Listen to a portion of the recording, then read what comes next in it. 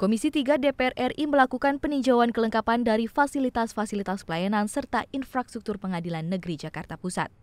Ditemui saat peninjauan beberapa fasilitas Pengadilan Negeri Jakarta Pusat, Wakil Ketua Komisi 3 DPR RI Adis Kadir mengatakan, Pengadilan Negeri Jakarta Pusat merupakan pengadilan negeri yang fasilitasnya sudah cukup lengkap. Oleh karena itu, Pengadilan Jakarta Pusat menjadi contoh bagi pengadilan-pengadilan yang ada di seluruh Indonesia. Pertama, kami melihat Pengadilan Negeri Jakarta Pusat ini adalah pengadilan uh, yang sudah sangat uh, lengkap fasilitas-fasilitasnya. Memang masih ada beberapa hal-hal yang perlu uh, perbaikan, tetapi uh, sudah bisa dijadikan role model untuk uh, contoh bagi pengadilan-pengadilan negeri di seluruh Indonesia baik itu dalam pelayanan, eh, kemudian infrastruktur, eh, dan lain sebagainya.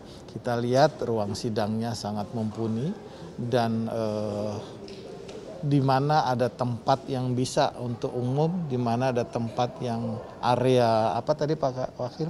Area steril ya. Steril. Wakil Ketua Pengadilan Negeri Jakarta Pusat Surahmat berharap Pengadilan Negeri Jakarta Pusat dapat berkembang dengan menangani beberapa pengadilan khusus, pengadilan niaga, pengadilan industrial, tipikor, serta HAM. Karena begitu beratnya beban tugas yang ada di Pengadilan Negeri Jakarta Pusat ini, karena menangani beberapa eh, pengadilan khusus. Ada niaga, ada pengadilan hubungan industrial. Arif Naka, TVR Parlemen, melaporkan.